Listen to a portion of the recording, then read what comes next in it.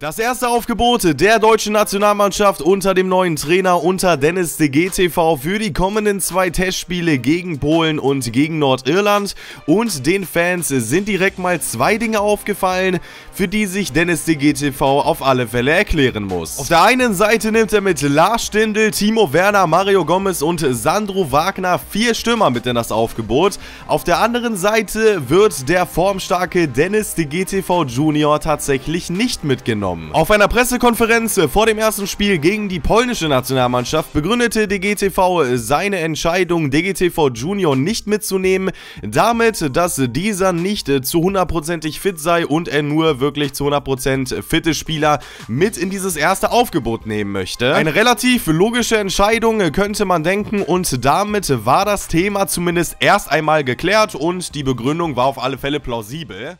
So plausibel wie das Ganze in der Öffentlichkeit erklärt wurde, so kompliziert war es dann eben im Hintergrund. Denn ich war gar nicht verletzt. Ich war zu 100% fit und dazu wahrscheinlich auch noch der formstärkste deutsche Nationalspieler, den es momentan gibt. Nach vier Scorern im Premier League Spiel gegen Aston Villa wartete ich förmlich eigentlich nur auf einen Anruf oder auf eine Nachricht, dass ich es in das Aufgebot für die kommenden zwei Testspiele gegen Polen und Nordirland geschafft habe. Es wurde immer später und später und immer unwahrscheinlicher und unwahrscheinlicher, dass ich irgendwie noch einen Anruf oder eine Nachricht erhalten würde, dass ich es in diesen Kader geschafft habe. Und irgendwann hatte ich damit abgeschlossen, aber mir war klar, dass es hierbei bestimmt nicht darum gehen würde, dass ich nicht zu 100% fit bin, sondern dass mein Vater mir tatsächlich nur eins auswischen möchte. Denn wenn man einen Spieler nach so einem Spiel nicht mitnimmt, dann muss das doch ein bisschen mehr sein als der Spieler ist nicht zu 100% fit. Fakt ist, dass diese Nicht-Nominierung nicht nur mich mental etwas geschwächt hat, sondern tatsächlich auch meine Karriere bei Manchester United ein wenig gefährdet hat,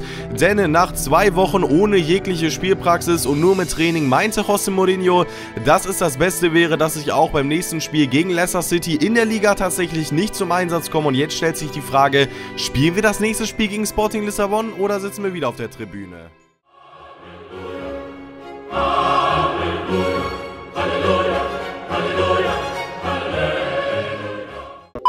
Zwei Folgen der FIFA 18 Spielerkarriere in drei Tagen. Wann gab es das bitte zum letzten Mal? Ich weiß es nicht. Das ist, glaube ich, Monate her.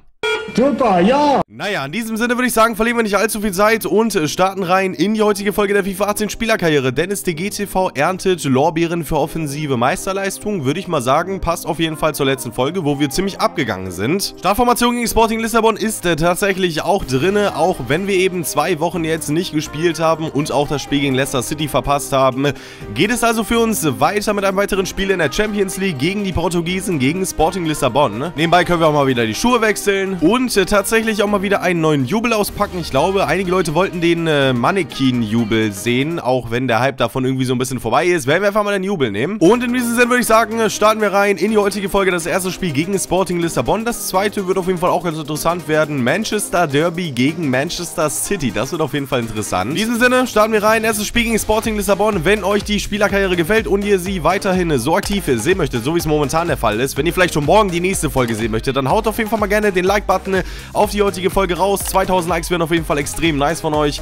Und ansonsten würde ich sagen, starten wir jetzt mal rein ins Spiel, verliere nicht allzu viel Zeit, plapper nicht so viel um den heißen Brei, so wie ich es gerade tue und starten rein ins erste Spiel gegen Sporting Lissabon. Los geht's! Ach ja, die wunderbare Champions League-Hymne im Old Trafford hören. Was gibt es eigentlich Schöneres? Ich denke mal, es gibt nur wenige Momente, die schöner sind als diese Atmosphäre in diesem legendären Fußballstadion in England. Und dazu dann auch noch die Champions League. Was gibt es eigentlich Besseres? Dazu noch eine geile Manchester United-Mannschaft, Atmosphäre von den Fans, die auch eine wunderbare Choreo bilden. Mehr oder Besseres gibt es eigentlich nicht. Oder nur sehr weniges, was besser ist. Wie zum Beispiel die Champions League gewinnt, was natürlich unser Ziel ist. Wir sind auf dem besten Wege, die Gruppenphase erfolgreich zu überstehen. Sind in einer Gruppe mit Sporting, Fenerbahce und Panathinaikos. Sind da momentan vorne.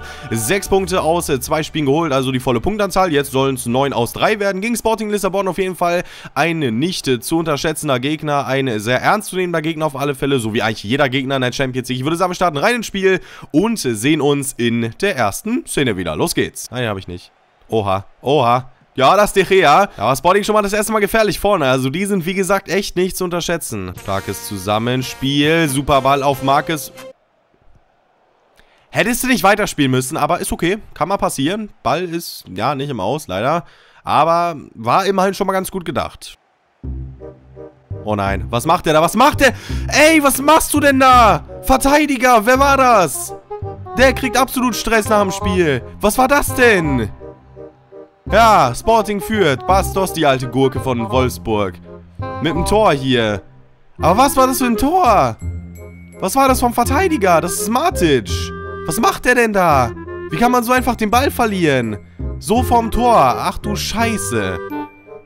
Kannst du keinem erzählen. Super Ding. Zwölfte Minute. Wir liegen hinten. Warum passiert das nicht mal beim Gegner so? Warum nicht mal von der CPU so ein dummer Fehler? Nee, passiert natürlich wieder nur uns. Super Ding, Alter. Da freut man sich... Was macht der denn da? Freut man sich immer wieder drauf. So, jetzt sind wir wieder absolut gefordert. Ja, super Ballverlust. So, komm, im Zusammenspiel mit Mikitarian. Schönes Zusammenspiel. Nochmal vielleicht der Ball in die Mitte. Lukaku. Oh, Mann, Lukaku kriegt wieder nichts auf die Reihe. Ah, das war jetzt mal gut, das war jetzt mal gut. Ja, der Ball ist noch bei uns. Ja, der Ball ist wieder nicht bei uns. Der Ball ist wieder bei uns. Komm schon. Och, Mann. Oh, der Ball ist schon wieder bei uns. Jetzt aber. Komm, komm. Oh mein Gott, ist der... Oh Gott, der ist so knapp am Tor vorbeigegangen. Das gibt's nicht. Scheiße, ich hab den absolut drin gesehen. Boah, was eine Granate.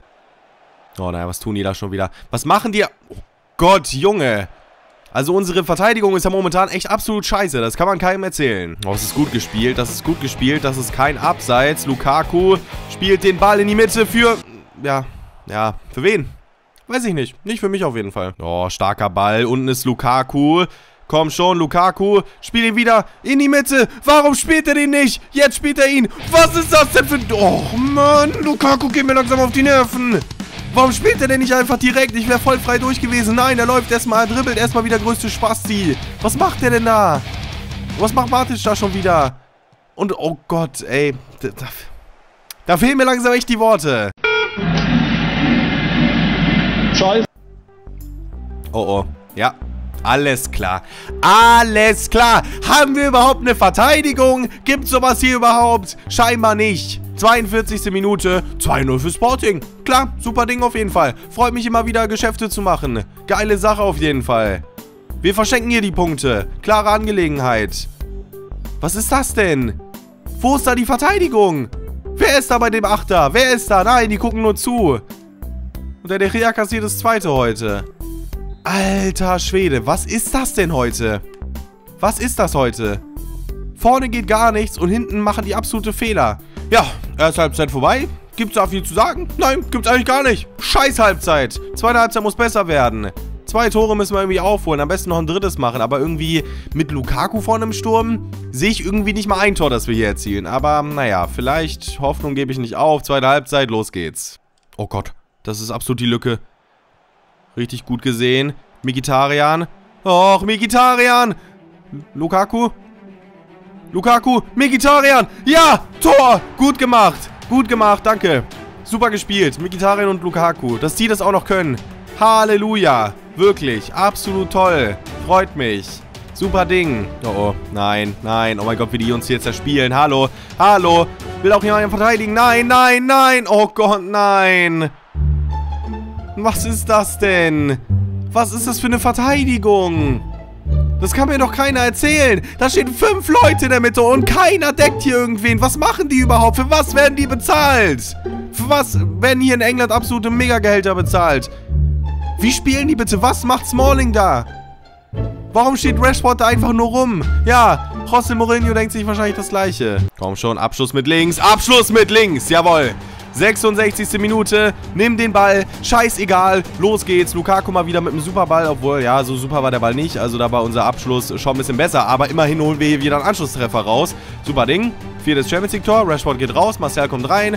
Freue mich auf alle Fälle. Ibra auch noch drin, das ist hier super. Also, das könnte noch was werden. Mit Ibra im Sturm bin ich irgendwie ein bisschen zuversichtlich, obwohl Lukaku zwei Vorlagen gemacht hat. Also, das muss man ihm schon lassen, aber der Rest des Spiels war halt nicht so nicht so das Gelbe vom Ei. Not the yellow from the egg house Englishman with set. Zurück auf DGTV Junior. Der auf Ibrahimovic. Ibrahimovic zurück auf DGTV Junior. Ja, Abschluss mit links. Scheiße. Funktionieren nie. Oh, das ist Einsatz. Das ist Einsatz, wie man ihn braucht. Das ist der Einsatz, wie man ihn braucht. Und Mikitarian. Nein, da kommt der Verteidiger vorher noch dran. Ey, das gibt's nicht. Durch, durch. Das ist gut. Das ist gut. Das ist gut gespielt. Das ist gut gespielt. Nein, die Flanke wird absolut abgeblockt. Das gibt's nicht. Am Ziel vorbei. Ja, gut, vielleicht spiele ich heute auch nicht mein bestes Spiel, aber ich versuche es immerhin, im Gegensatz zu anderen. Ja, Niederlage. 3 zu 2 Niederlage gegen Sporting Lissabon. Die haben wirklich gut gespielt. Aber wie wir heute verteidigt haben, das war echt mega, mega, mega, mega schlecht. Also wirklich. So kannst du als Champions League, als amtierender Champions League-Sieger, so kannst du doch nicht verteidigen. Bastos macht heute zwei Tore und ja, wir verlieren. Ist nicht so gut, nicht so toll. Wenn du so gegen Manchester City verteidigst, dann, ja, dann wird das eine 4 oder 5-0 Klatsche für uns. Aber wir sind positiver Dinge. Es waren auch Momente da, wo es gut war, aber die waren halt weniger oder so gut wie gar nicht vor. Vor Spiel gegen Manchester City dann aber nochmal eine kleine Trainingseinheit und wir können aber nochmal ganz kurz auf die Tabellensituation eingehen. Denn die ist auf alle Fälle sehr interessant, denn Manchester City gegen Manchester United ist nicht nur das Manchester Derby, sondern auch das Spiel Erster gegen Dritter und könnte das Spiel um die Tabellenführung sein. Denn wenn wir hier gewinnen sollten, dann bleiben wir Tabellenführer. Wenn Manchester City gewinnen sollte, dann ist die Wahrscheinlichkeit doch relativ groß, dass die Tabellenführung übernehmen. Tottenham ist aber auch noch mit dabei, mit 17 Punkten auf der 2, also die Tabellensituation sieht doch sehr interessant aus auf alle Fälle. An meinem Geburtstag, dem 28.10., findet das Manchester Derby hier in unserer Spielerkarriere statt. Ich würde mal sagen, wir verlieren nicht allzu viele Worte, starten rein ins Spiel und schauen da mal, was geht. Ich denke mal, das wird ein verdammt hartes Spiel werden, aber wir können ja als Sieger rausgehen, wenn wir uns zu 100% straffen. Im Old Trafford das Ganze bei Schauer, wie soll es auch anders sein, hier typisch englisches Wetter. Ich würde sagen, wir starten rein ins Spiel und sehen uns gleich wieder. Ja, das ist nicht ungefährlich. Ja, das war auf jeden Fall nicht ungefährlich.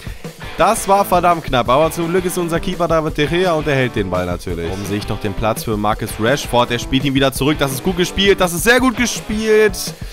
Ja, am Abschluss scheitert es dann leider, aber war schon mal der erste gute Ansatz im Spiel. Starker Ball von Pogba. Nein, da nimmt er den Ball nicht richtig mit. Och man, das wäre so eine gute Chance geworden, aber dann nimmt er den Ball einfach nicht vernünftig mit. Wir wären sogar am Verteidiger vorbei gewesen. Wieder auf DGTV Junior, Mikitarian. Mikitarian bleibt am Ball, ja, auch wieder nicht ungefährlich. Auch wieder super gespielt, aber Ederson ist wieder zur Stelle. Ganz easy. Was ist das denn? Warum ist da schon wieder unten so viel Platz? Leroy Sané, komm De Gea, komm De Gea. Ja, ja, gut gemacht, gut gemacht, Junge. Oh Gott, was wäre Manchester United nur ohne David De Gea? Ich glaube, das stellen sich viele Leute die Frage. Oh, oh. Oh, oh, oh, oh. Ja, oh Gott, ich wollte schon sagen. Ich habe schon ja gesagt, weil ich dachte, bald wieder reingehen. Aber der ist echt knapp am Tor vorbeigegangen. Richtig starker Schuss von Kevin De Bruyne. Dem anderen sehr guten Zehner auf anderer Manchester-Seite. Oh, oh. Oh, oh. Ich glaube, das war... Ja. Ja, das war bisschen too much. Oh, scheiße. Oh, fuck, Mann. Warum gehe ich da denn so rein? Bin ich irgendwie... Bin ich irgendwie behindert? Was tue ich da gerade? Was habe ich da gerade getan? Warum grätsch ich da so rein? Ja, restliche Spielzeit simulieren, restliche Spielzeit anschauen. Restliche Spielzeit als Team absolvieren. Warum, warum grätsch ich da so rein? Oh mein Gott, was ist denn das für eine dumme rote Karte? Dümmer geht's eigentlich gar nicht, oder? Ja gut, ich meine, habe ich gesagt, dass das die nächste Sperre für uns ist? Ja gut, das habe ich, aber ja, das war halt einfach dumm von mir. Also einfach extrem dumm, wie ich da reingegrätscht bin. Ich dachte eigentlich, dass ich da irgendwie von der Seite kommen würde und dass es halt eine gelbe Karte werden würde im schlimmsten Fall. Eigentlich dachte ich, dass ich den Ball gewinne.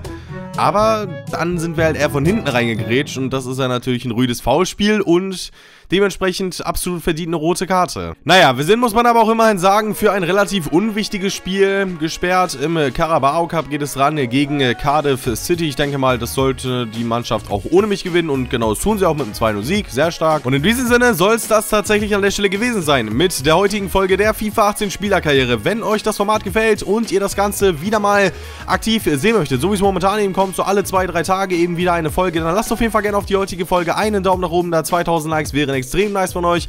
Und ansonsten habe ich gar nicht mehr so viel zu erzählen. Wir sehen uns in der nächsten Folge, dann in den nächsten Tagen hoffentlich auch wieder. Nicht wieder in drei Wochen. Ich hoffe auf jeden Fall, dass es so klappt, wie ich mir das Ganze vornehme. Und dass wir auf alle Fälle wieder richtig reinstarten und ein paar coole Storylines haben. Wenn ihr übrigens Storyline-Vorschläge habt, könnt ihr sie mir sehr gerne unten in die Kommentare schreiben. Und in diesem Sinne verabschiede ich mich. Wünsche euch noch ein wunderbares Wochenende. Bis dahin, haut rein und ciao.